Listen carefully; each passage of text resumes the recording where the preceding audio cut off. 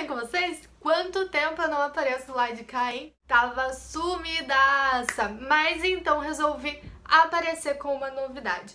Eu mudei a cabeceira da minha cama, simplesmente isso. É, quem não sabe do que eu tô falando, como era o meu quarto antes, eu vou deixar linkado aqui o vídeo do tour pelo meu quarto. Vou desligar minha máquina, senão não dá pra falar. A minha cabeceira da cama, ela era escura, da cor dali, ó, do meu guarda-roupa. Era igual, ou igual daquela cor ali. Eu vou colocar a fotinho dela antes, mas vai lá e assista o tour do meu quarto completo. E eu não queria por quê? Porque eu tô deixando minha casa toda de uma forma, vamos dizer assim, mais clean.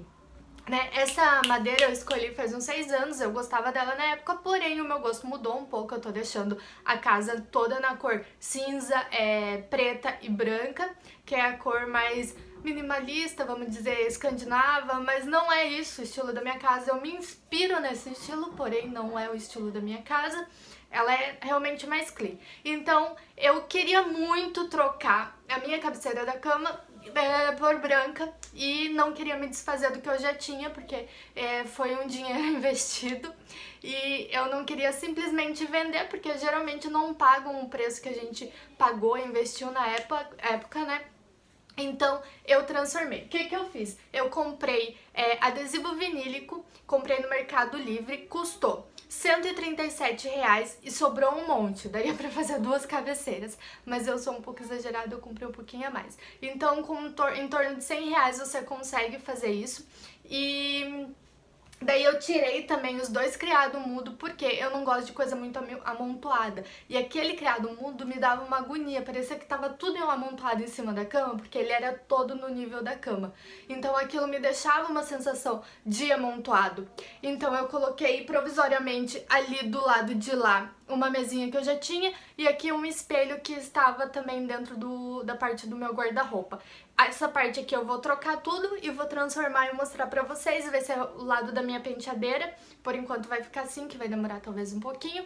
E eu gostei, coloquei também aqueles quadrinhos ali em cima, eu já tinha comprado aqueles quadros há muito tempo e eu comprei justamente porque eu queria ter uma cabeceira branca, isso já faz muito tempo, e eu achava que ele iria combinar quando eu tivesse. É, então o vídeo é isso, e bora lá mostrar bem pouquinho de como eu fiz tudo isso. A primeira coisa que eu vou fazer em todo o painel é limpar ele bem, deixar ele bem... Deixa eu arrumar, vocês estão tortos.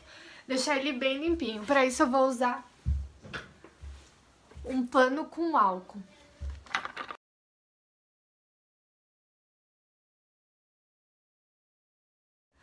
Agora que tá tudo limpo, eu preciso da ajuda do Francisco, meu voluntário involuntário, pra colar. A gente vai colar no seco mesmo. O que, que é colar no seco? Geralmente usam, é, coloca água e detergente, molha tudo e coloca que ele fica mais fácil pra você manusear. Mas como o nosso espaço é 3 metros, a gente... E Acho que vai ficar difícil, porque nesse método você tem que tirar todo o adesivo e colocar ele de uma só vez. Então a gente vai fazendo por etapas no, na, no seco mesmo. Vem essa espátulazinha aqui, ó, que você vai esticando. Então a gente vai usar ela, a gente vai colar a parte de cima e vai esticando. Então é bom ter duas pessoas para fazer esse serviço.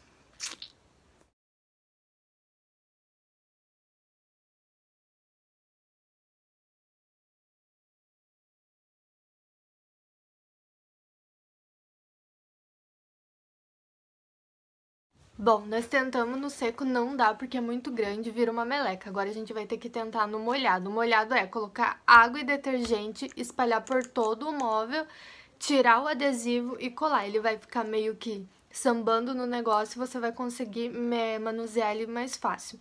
Então, nós vamos tentar esse método agora.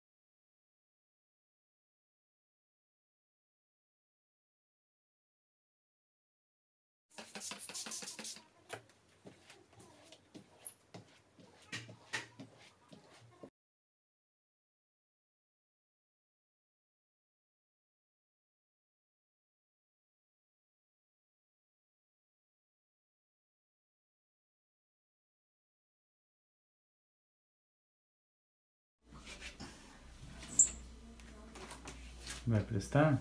Claro que vai. É legal fazer você mesmo? Por quê? Por quê? Por que, tá sem ar? Boca. Você parece meio cansado. Porque meu marido não me ajuda. Ué, nada. faça você mesmo ou faça você meu marido? Não, Hum? eu vou fazer tudo. Hum, é fácil, né? Faça você mesmo. Ei, tu mostrou pra mamãe a cartinha ali do aniversariante?